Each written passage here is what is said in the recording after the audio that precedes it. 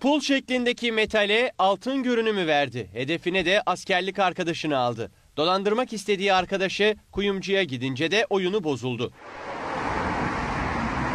Silivri polisi piyasaya sahte tarihi eser sürmek isteyen bir kişi olduğu bilgisi üzerine harekete geçti. Onunla irtibat kurdu ve onunla alıcı gibi davranıp alışverişe girdi. Tam alışveriş gerçekleştiği esnada ise bu gördüğünüz sahte paraları verdi. Daha sonra bu sikkeleri aldı. Ancak bunlar sahte altındı ve o kişi de piyasayı dolandırmak istiyordu. İddiaya göre şüpheli asker arkadaşına elinde yüklü miktarda Bizans dönemine ait altın para olduğunu ve paraya sıkıştığı için de çok ucuza satacağını söyledi.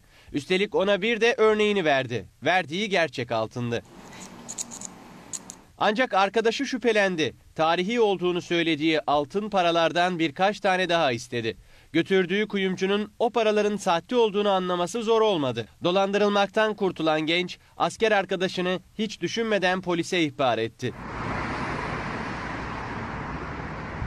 Polis ele geçirilen malzemelerin sahte Bizans sikkesi olduğunu belirledi. Peki bunu nasıl belirledi? Müşteri bunu altı suyuna batırmış ve arkadaşına satmak istemişti. Gerçekle sahtesini ayırt etmek içinse küçük bir test yapalım. Görüyorsunuz bu sahte bir sikke ve bunun üzerine metal bir çubukla kazıdığımız zaman altının üzerinde, sahte altının üzerinde çizikler oluşuyor ve kaplaması da soyulup kayboluyor. Polis yaptığı baskında 341 adet sahte altın para ve yüzlerce metal pul ele geçirdi. Silivri İlçe Emniyet Müdürlüğü'nde iddiaları reddeden şüpheli gönderildiği adliyeden serbest kaldı.